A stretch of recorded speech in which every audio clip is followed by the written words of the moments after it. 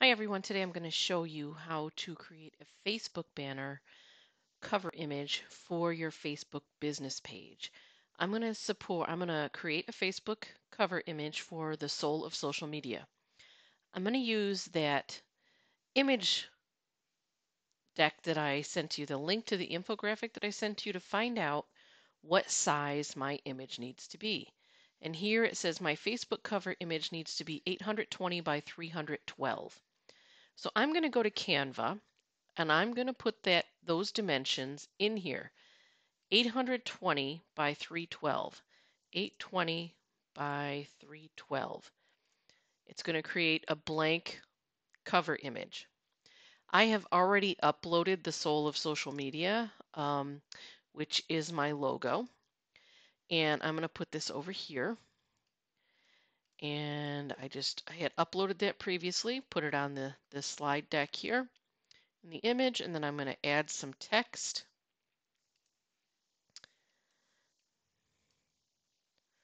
And let me just grab that. Sometimes it's a little bit hard to grab, that's for sure. And then uh, I'm going to add answering your social media questions.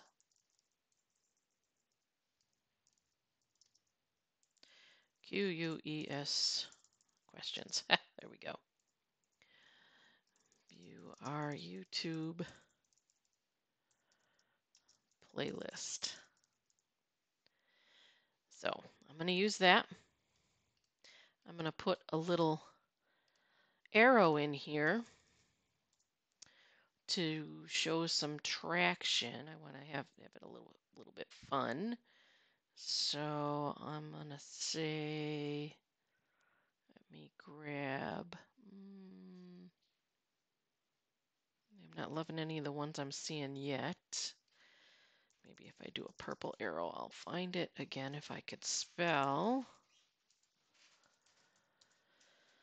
Oh, those are better. Let's see. Oh, I'm liking this one. I'll say that. Resize it. View our YouTube playlist. And that's that. I'll make that a little bit smaller. Put that there. I'm going to say Soul of Social. Facebook cover so I know what it is when I download it. And I'm going to click download. Now the one thing you need to remember is your Facebook page has to be a business page, not a page on your social media personal account, on your Facebook social media account.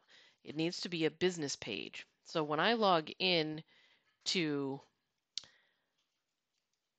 Facebook, I would have my pages over here that I'm an administrator for. So I'm actually going to go to my Penheel one.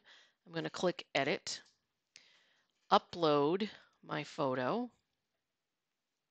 I'm going to go to my Downloads folder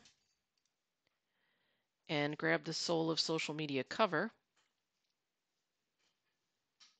And there is my picture. Now, how do I make this actually work? When I've uploaded the picture, it will show up in my Photos section. So I can go to my Photos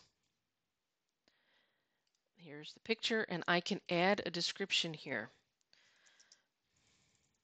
The soul of social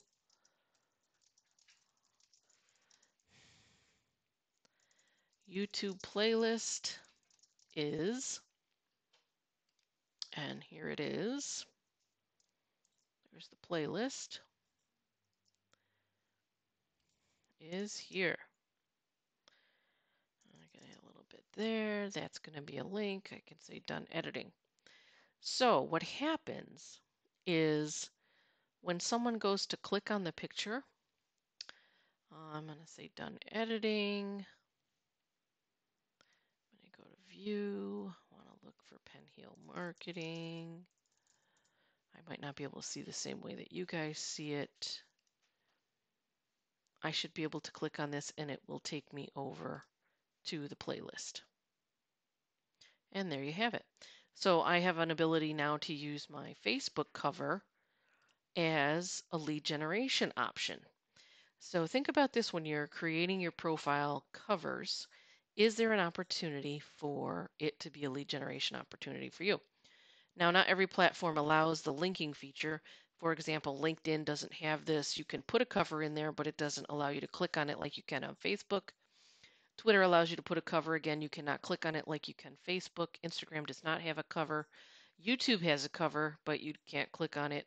Um, you can see my cover on uh, my channel here. There's my cover image up there. Um, it's not clickable, but it does say who I am and what we do.